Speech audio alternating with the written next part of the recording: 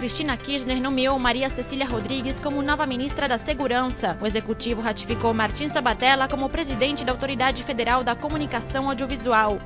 Na conferência da União Industrial Argentina, Axel Kicillof disse que a reindustrialização do país não se deu por acaso, mas sim com esforços. O governo anunciou um aumento na proporção de biodiesel, porcentagem que vai ser obrigatória para as usinas termoelétricas. Júlio Devido disse que a energia na Argentina é a mais barata da América Latina e que o país vai diversificar suas fontes.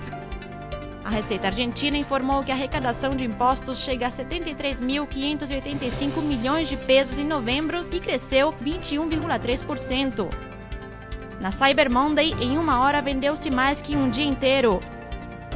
Com a abertura do centro de mídia, foi inaugurada a semana do sorteio da Copa 2014 na Bahia. Messi começou a segunda fase da recuperação no centro de treino de Ezeiza.